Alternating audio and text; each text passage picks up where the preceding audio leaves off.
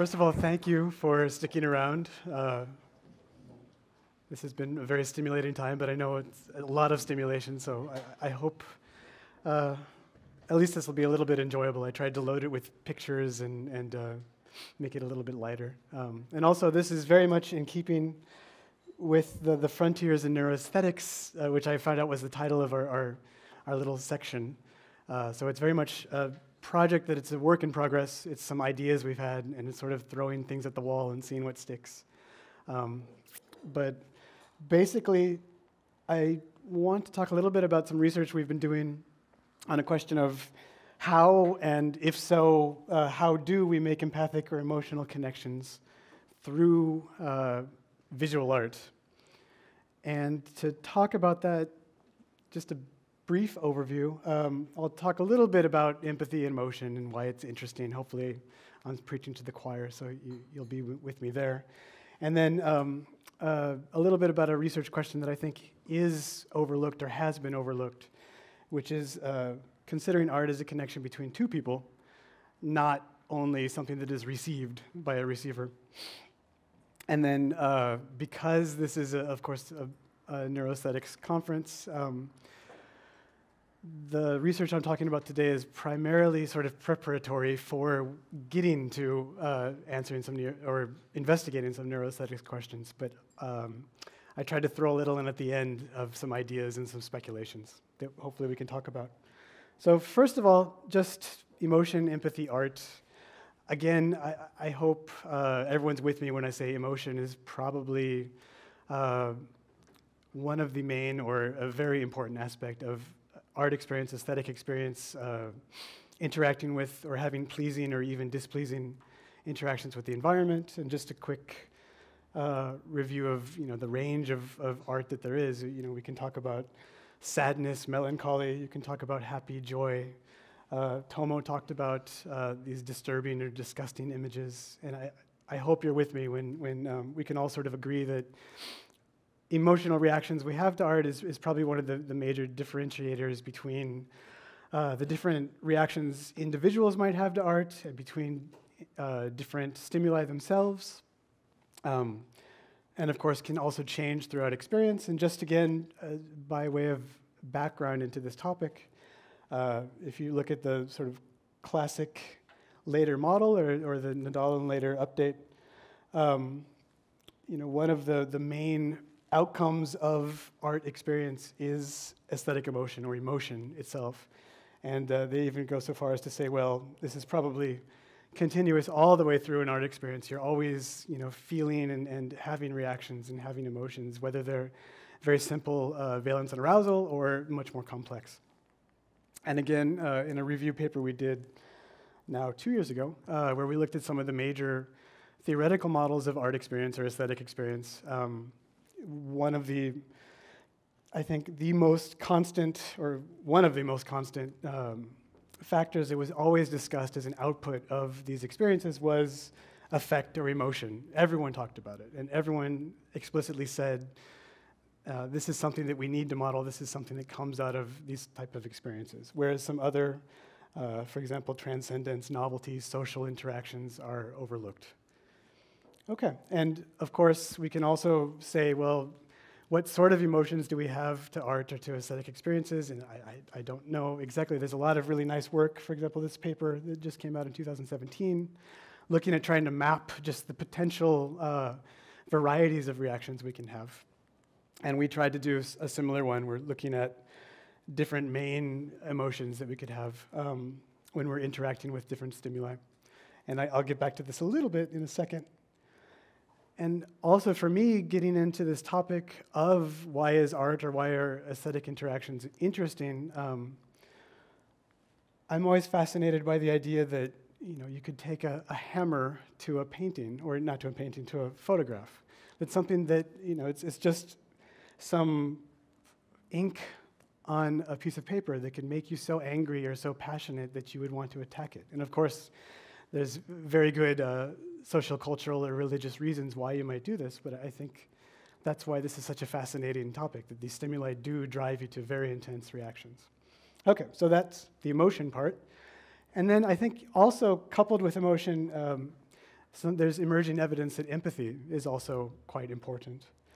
So I think it's, it's key in conjunction with emotion uh, in art experience. And again, I'm not going to uh, survey all the literature, but just in general, um, I think from the, the late eight, uh, 19th century with the idea of Einfühlung, uh, feeling into uh, the emotional state of another through a work of art, through a person's body. And uh, this idea actually went on to sort of formulate the, the modern conception of empathy itself.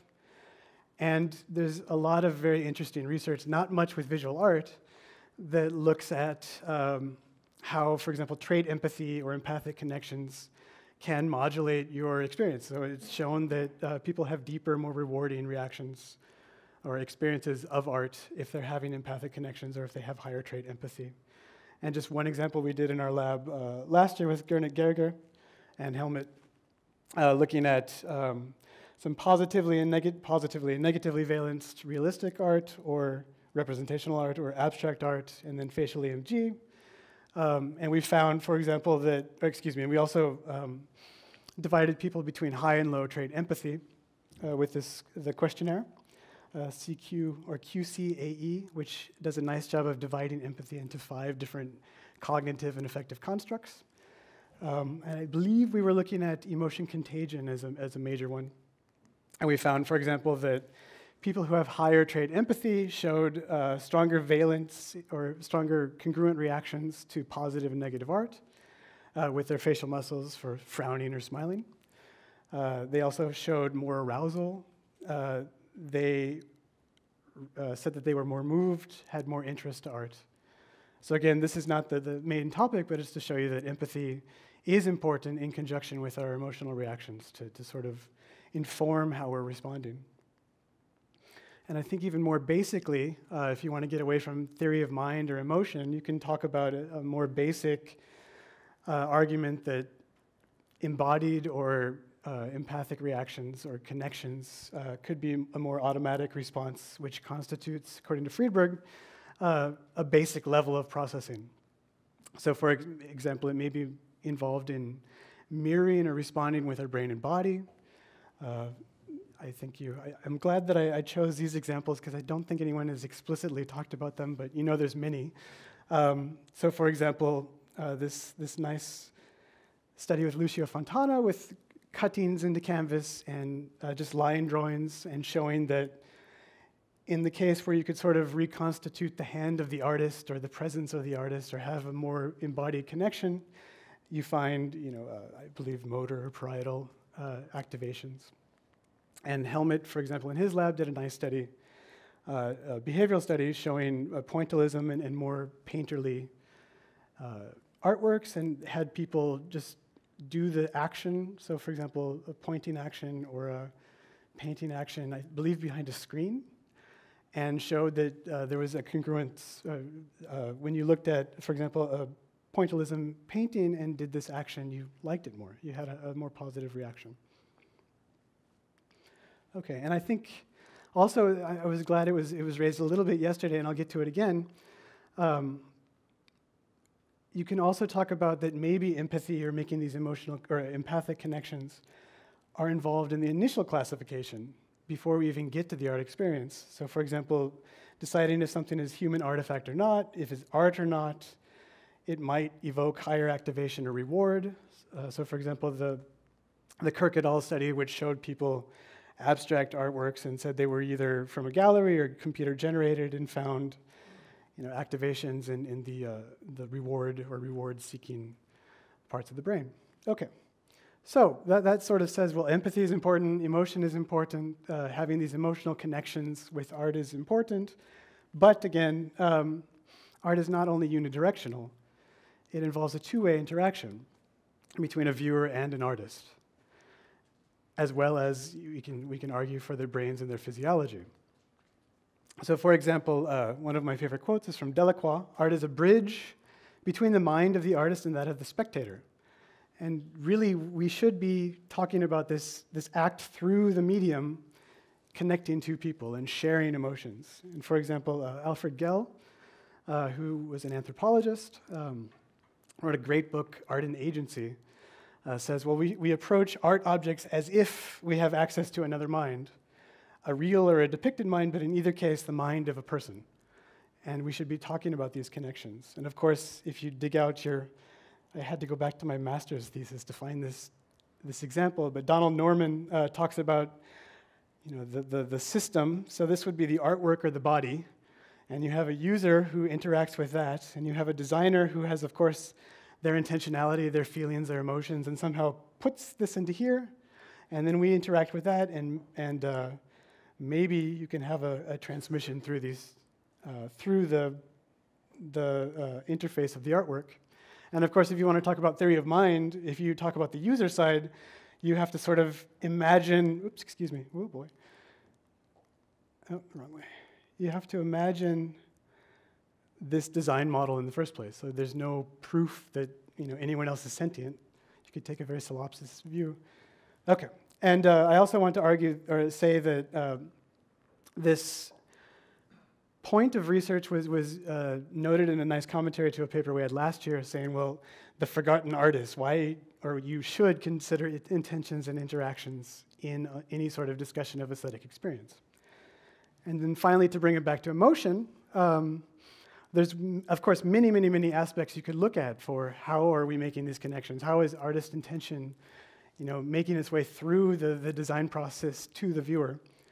Uh, but emotion itself, Leo Tolstoy says, uh, to evoke in oneself a feeling one has experienced, and having evoked it in oneself, then by means of movements, lines, colors, so to transmit that feeling uh, that others may experience the same feeling, this is the activity of art.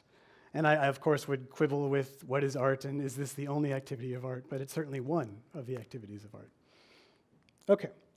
So that takes us to uh, the, the, new uh, approaches we, we've been trying. And just as a bit of one more point of background, um, excuse me. So first of all, we, we wanted to say, well, let's assess the artist and the viewer interaction. Let's focus on emotion and understanding and look at both the artist's intentions and their reported experience as well as the viewer.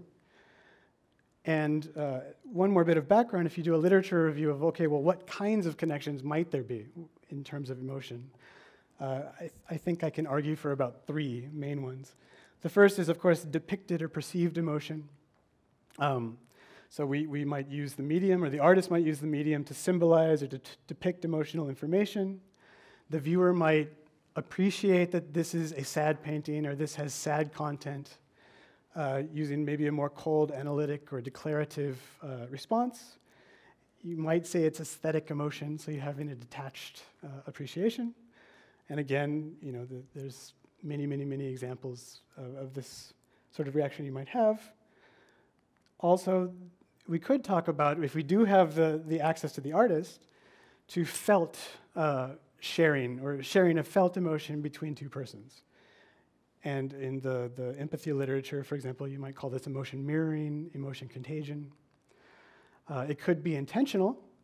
So the artist could, could feel a certain way and make an artwork about that feeling to try to make other people share in that felt experience. And you could also talk on a much lower level. You might use your you know, gut response to say, okay, that's, that looks right or that feels right, and then maybe the viewer is having the same sort of reaction to that. So, for example, expressionism, um, abstract expressionism, I think this is William de Kooning. One of my favorite examples is by Bruce Nauman, which is supposed to make you feel really uncomfortable and claustrophobic.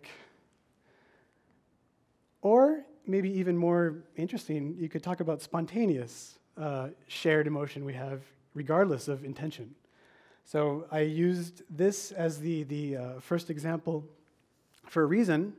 This is a, a painting by, by, Van Gogh, uh, Wheat Field with Crows. And I don't know if anyone's seen Ways of Seeing by John Berger, this famous book. And he uses a, this example, uh, basically says, okay, on, this is one page where it says, this is a landscape of a cornfield with birds flying of, in it uh, look for a moment, and then turn to the page. And then you say, well, this is the last picture that Van Gogh painted before he killed himself. And you, the, you could say, well, there's got to be something in here that, that says, I'm going to kill myself. There's, you know, it's happy, sunny colors, it's crows, it's a natural scene, but is there anything that can actually get across spontaneously? And actually, another example could be Mark Rothko. So this is early Rothko. This is, you know, classic Rothko. This is the dark series he went through towards the end. And then again, this is his last painting. And there's some nice anecdotes from friends who visited his studio when he switched from the really dark paintings to these, and they said, Oh my God, you got to get to this guy. He's going to kill himself. And he did, of course, in 1971. And again, you could say, Well, is there, any, is there something that's getting through to the viewer? And I actually found a nice website that has final paintings by artists. So this is Duchamp, Francis Bacon. Look it up sometime. I, I don't have anything else to say about this, but I thought it was interesting. And then finally, we could say, well, there is no emotion sharing, it's just idiosyncratic. Okay. And I want to say that in looking for people who have actually tried this, working with the artist to say, how are you feeling? What were your intentions? And then looking at the viewer, I could find only one example. There's examples in music and poetry, but not necessarily in visual art, except for this one study in, uh, by Takahashi in 1995, where they just asked people uh, make a line drawing about anger or all of these emotions and then showed the same line drawings to other people and said, which of these emotions do you think this communicates? And they do find pretty good ability to, to make this transmission. But of course, these are very simple, they're, they're not nearly as complex as art. So, uh, that takes me to the studies that I, I like to talk about.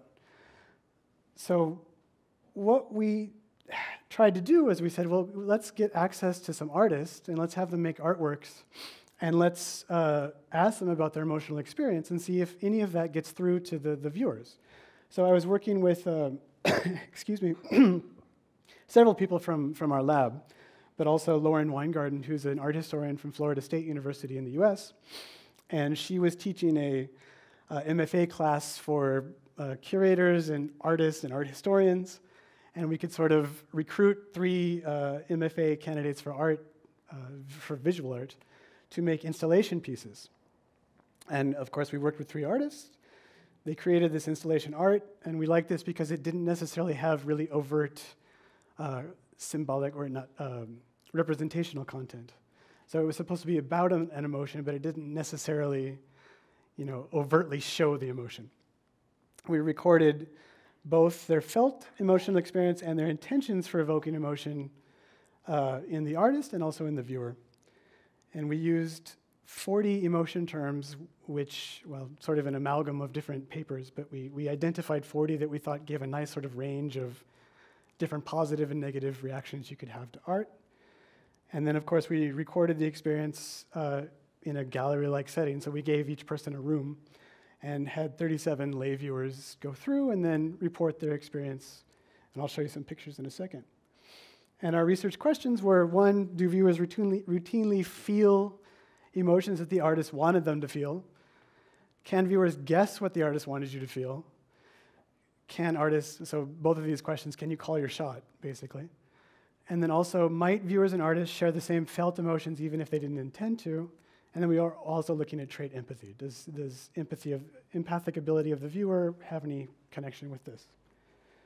So here's some pictures. Uh, so one artist made a, a, a drawing of, uh, she's African American, so sort of the stereotypical curly hair on the wall and all going all the way down the hallway. Another artist um, made an artwork about three experiences of uh, uh, being sexually harassed or sexual assault that she had experienced. And of course, there's nothing overt about that in here, but uh, with doorways projected and some clothes from the experience strewn on the floor. And one artist, a guy, uh, made a kind of weird uh, artwork where he had some fake grass on, on a dolly and a metal tube and some wires running to the ventilation ducts and there was a TV behind each one showing the 1992 Democratic National Convention and Team America World Police. So again, these are, these are students of art. okay, and here's a picture of that one, this one, this one. And then we gave the artist first this questionnaire saying, okay, when you were making the art, how did you feel? Reflect on your, your experience. And we had them answer on a typical Likert scale. And then they went back and we said, okay, circle the emotions that you particularly want other people to feel. And for example, this one, we had happy, absorbed, moved, awe, anxiety, self aware, overwhelmed, shock, need to leave, uh, loss of self awareness, sense of brightness. So again, you can quibble with the, the artist's intentions, but this is what they said. And then again, uh, we, we also asked, what did it mean? I won't make you read this. Um, but then for the results, I like to start with this because I think it's, it's really telling. So th- these are the, the, the first two artworks I showed. So the hair and the, the doorway rooms, and then this is the uh, 1992 Democratic National Convention one. So if you say, did you feel a sense of the pre- artist's presence? Yes, yes, no. Uh, did you think about the way the artist must have felt? Yes, yes, no. Or on the no side of the scale. Uh, did you have a sense of what the artist was thinking when they made the art? Yes, yes, no. Did you understand the artist's intention? Yes, yes, no. And then, was it good or bad? No. And then, when you start looking at the answers to these questions, did you feel what the artist wanted you to feel? So, here's the artist's answers to all these emotions. And this is, uh, of course, the, the mean of all the viewers. And the circles are the ones that the artist designated as I want people to feel this. So, the key point here basically is uh, when you go from high to low reported felt experience by viewers, you know, the, the circles of the artist's intended emotions are towards the end we would want. This is artwork one, artwork two, so again, sort of the same idea. Uh, artwork three, so yeah, maybe not so much in the middle there. And when you just look at, okay, the mean felt emotion versus the mean, or excuse me, the mean artist intended emotion, did you, for your feeling versus uh, not intended, there's a pretty clear effect. It works twice and it doesn't work once. Okay? So, can viewers guess what the artist wanted them to feel? Again, this is just the percentage of people who designated that emotion that I think the artist wanted me to feel this one. And the asterisks are the ones that the artist had actually identified. So, yeah, it looks pretty good. Artwork two, not bad. Artwork three, zero people guessed this artwork. And of course, if you look at you know, their guess rate, um, if you want to treat each emotion as a binary yes no, they're way above chance.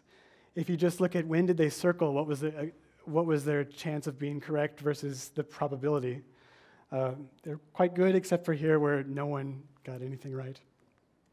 Um, can viewers and artists share the same felt emotions? Uh, and actually, here, I mean, there's probably many ways to do this, and if anyone has great ideas, I'd like to hear them. But you can just sort of look at a correlation between the, the reported emotions on all the scales uh, for the, each viewer and for the artist.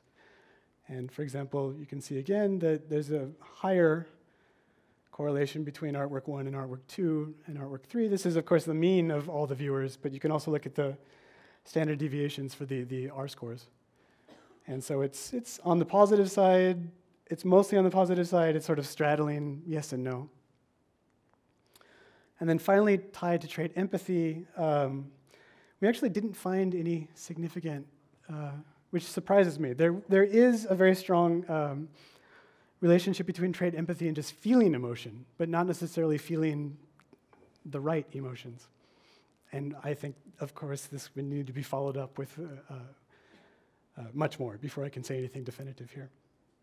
And we did also look at uh, rating the artwork as good, bad, and this is a regression. So the main, or there's a significant um, relationship for shared felt artist viewer emotion, guessed artist emotion, felt artist intended versus not intended emotion.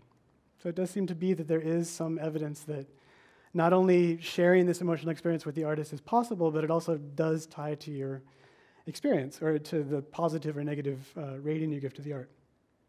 Okay, and that was the summary. So, yeah, there is evidence for emotion sharing that is both intended and spontaneously felt uh, by artists and viewers. There is a tie to art appreciation, no clear tie to trait empathy. And I have, what, about five, ten minutes? Is okay? Ten minutes? Okay. So, uh, that's the, the study that we have sent out. And we have a few more kind of weird ones that are in the middle of, of we don't know what exactly to do with, but uh, I thought I'd share them with you. So we actually had the chance, you know, the cynical take could be, well, these are art students. Maybe they're not great. Uh, what if you have really professional artists? Uh, so we had the opportunity to go to the Italian pavilion at the Venice Biennale. Uh, and the curator gave us access to the pavilion and said, sure, go do a study, but they wouldn't answer any of our questions about their intentions. But luckily, they had written a book uh, explaining all of these artworks, and, and they had kind of in the description of how you were supposed to feel or what the art was supposed to be about, they used some very you know, nice salient emotion terms, so we could sort of pick those out as the, the uh, de facto intention. And I want to say that this was uh, driven by a PhD student in Helmut's lab, Patrick Markey, as well as Eva Specker. Just again, some pictures. So here's it's three artworks again uh, by these guys. And the first one was um, uh, a machinery for producing Christ figures. I don't know if anyone actually saw this. It was awesome if you did and they would inject uh, this what like uh, biological gel compound for growing mold and that kind of thing, and uh, produce these Christ figures. Here's the mold, and then they would have them cure in this. I don't know if I can in this giant bubble thing here. Cure. Uh, they would, I don't know, uh, ripen. Yeah, uh, and they would just get super moldy and disgusting. And of course, you know, one of the questions we had to ask was, "Are you Catholic? Are you religious?" Uh, and we did. And then, of course, they put some on the wall as they would degrade. Um, and the second artwork was a movie about tarot in a room with some Christmas lights. I'm being really sort of cynical about my description of this. Here's, here's the tarot. It was uh, American millennials reading tarot cards and having deep thoughts about life and what it made them think of. I, my personal take was it wasn't that great, but you know, we'll see. And then the last room was, excuse me, you walk under some girders, and then uh, this is the ceiling. It's difficult to see, but basically there's about an inch of water all the way back into in, the distance, and it was just like sitting in a, a cistern or something. Um, very peaceful, very interesting. And of course, we could say, okay, the emotion terms that were pointed out by uh, the curator and the artist for this one were mysticism, reverence, and fear, empowered, self aware unease, calm, melancholy, vertigo. Uh, here's people taking the questionnaires after they left. We also did pair it with uh, some physiological data, which I don't have yet because we're just processing it now. Uh, but again, um, here's reported felt emotions, artist intended versus not intended. And it worked twice again. And in the, the movie room, it didn't seem to, to work. And again, um, guessed, can you guess from the list which of these emotions did you think the artist wanted you to, to feel?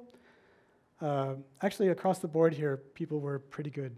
So it seems like people are quite good at picking out, you know, this is like what I think this artwork is about, whether or not you feel it or not. Um, and again, the same sort of questions. Did you have a sense of the artist? So, yes, yes, not as much. Did you think about the way the artist felt when making the art? Yes, yes, not as much. Did you understand the artist's intention? Yes, yes, not as much. Okay. And last one, just real quick. Um, I, am working with a uh, master student from actually Indiana University, but she's right now in Vienna working with us, uh, and is a uh, trained choreographer and a dancer, which I know nothing about, so uh, this is completely new for me. But she had the idea of um, designing a dance in three parts, and each part would be about one emotion. So the, the idea was you should you know, embody this emotion, transmit this emotion, make it about this emotion. And uh, then she wanted to train uh, dancers from a dance company, I believe, uh, over three days using a method uh, that she'd sort of developed. And I, I have an exa- uh, she says it's a conglomeration of improvisation from William Forsythe, extended cognition co creation from Wayne McGregor, and memory, Trisha Brown, a triadic aesthetic experience. So the key point was she taught this dance to people completely without any words for three days, and just moving them through the, through the different parts of the dance. Uh, and at the end of each day, we gave them a survey and said, you know, did you what, what emotions did you feel? What did you think this, the parts of the dance were about? And then after the third day, she said, okay, now I can talk. And then they, they refined it. And she actually has the plan uh, to do this in the future between a verbal and a nonverbal and to actually try it with an audience as well to see if it'll make it through. But again, and here's the dance, again, we do find that the dancers were quite good at picking up what was the intended emotion for the dance. And of course, you could try this with lay people. I don't know if it would work. And I just wanted to show a quick, I think it's a one minute video if this works. This is the catharsis, or the one part of the catharsis.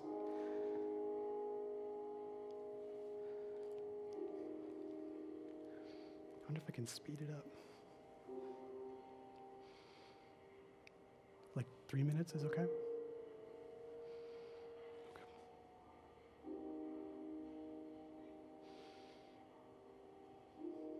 I think they're just looking at the. And we had a lot of trouble coming up with music that wouldn't give it away. So it was just constantly this music. I said we should just use a metronome, but we can try different things. But if you watch uh, this dancer here.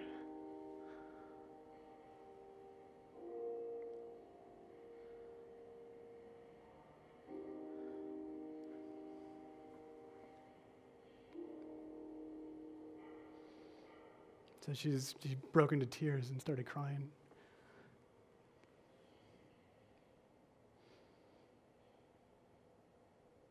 And then they all come over and